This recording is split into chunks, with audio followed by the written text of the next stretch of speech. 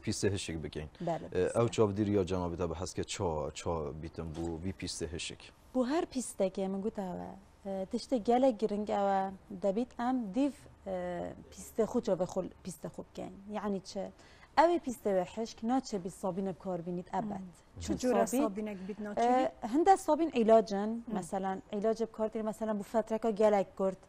هی وک ده روزه 20 روزه او ما مشکله بله. بس گلک مستمر صابین بکاردینه و تند بین سر جود ما تجاعید تاتنه مثلا عمره و 20 ساله. بس تو سحکه و که 40 سالی دیارد کرد.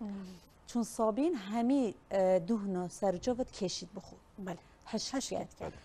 اگه تا صابین کار اینه دیرا دبیت مرتب مرتب که کار بین دا او حشکاتی بزوریتا و یعنی وقتی سر جوتا حشمون. او مرتب ده کاری سر جوتا که جرکادی بهتا سر رکاخوی اولی باشه با چه